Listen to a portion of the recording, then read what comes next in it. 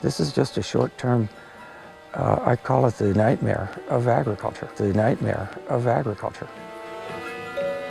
This was in the 30s, 1930s, so science and technology, it seemed like, was about to bring uh, new abundance and leisure to the world, and who would want to go back?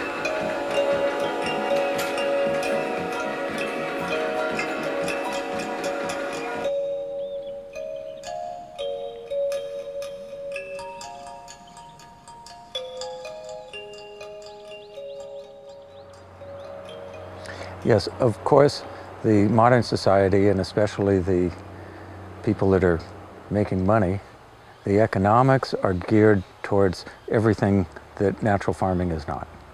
It's exactly going in the other direction, supporting the materialistic lifestyle, not caring about the degradation of the landscape or what happens to other forms of life. It goes, you know, these are all the products of this human world.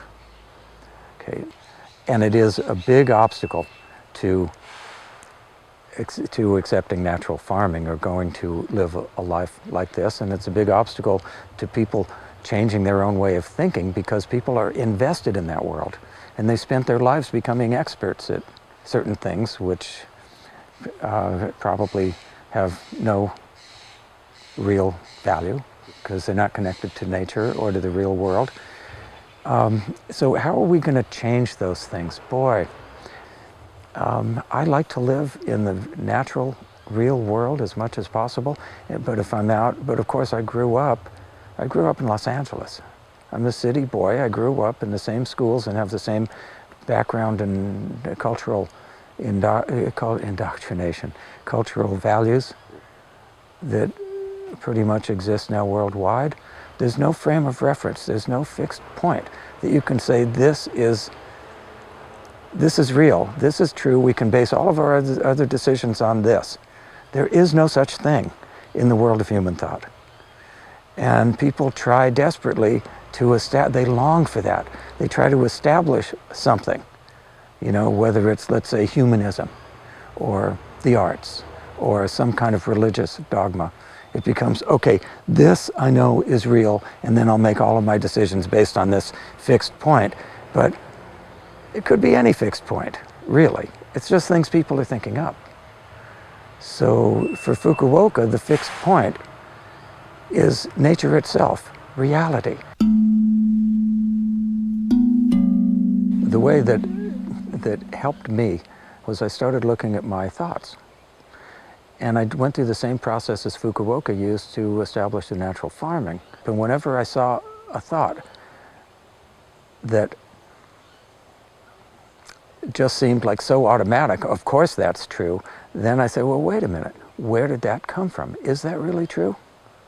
Um, do we really need to continue to grow? Progress? Is progress a really good thing? I mean, we're progress, of course. We need to progress. And so I went through this process of evaluating, and one by one, almost all of those things that I had grown up uh, believing was the truth. And some of these were, a lot of them were cultural. Like we're, the need to expand all the time. We need modern agriculture to feed the growing population. Boy, growth is a good thing. Science will find an answer, no matter what the challenge. Science will find an answer. I no longer believe these things. And you know what? It's left a whole lot of room it's left a whole lot of room. I don't, you know, I see an article in the newspaper about science has found out some new thing about nutrition, or, you know, the rover just landed, the rover, which is called Curiosity, just landed on Mars. I don't care. I think it's the most the ridiculous thing ever. So I don't have to read those articles. I don't have to clutter up my head with any of that stuff. And then that puts me, oh, there's a lot more room to, to see and experience. If you're a farmer, this is not that farming is any intrinsically any better than other uh, vocations, but with farming, you're out in the fields all the time. You're interacting with the plants and soil and the insects and the other creatures, so you're right there.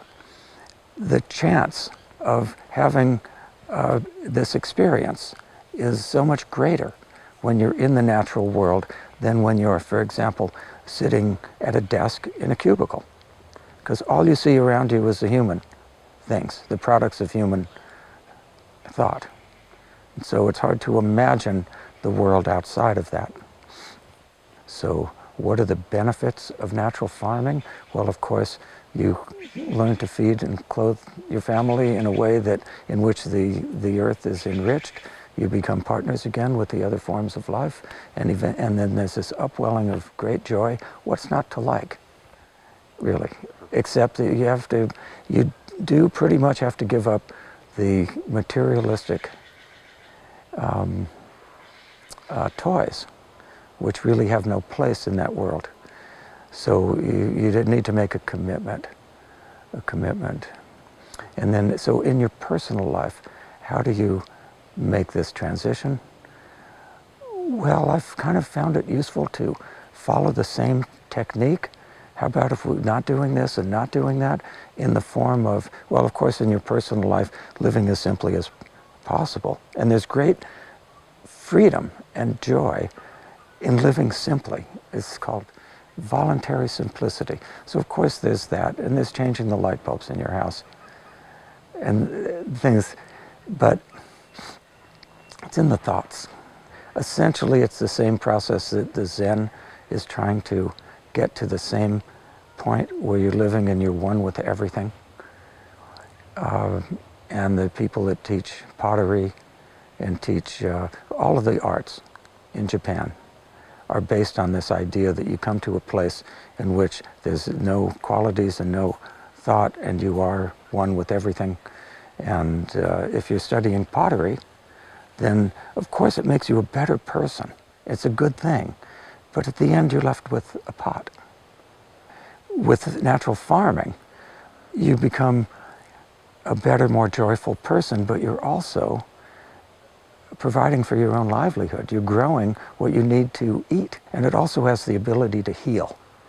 Using the, you know, in the real world, it's using the soil building combinations of plants and doing things that make the landscape more abundant than it was before.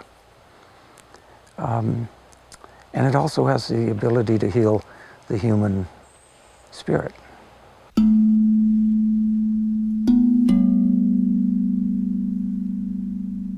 So you're going to edit this? Yeah. yeah. That's nice. Um, and so this is a this is a you're filming, huh? That's a, yeah.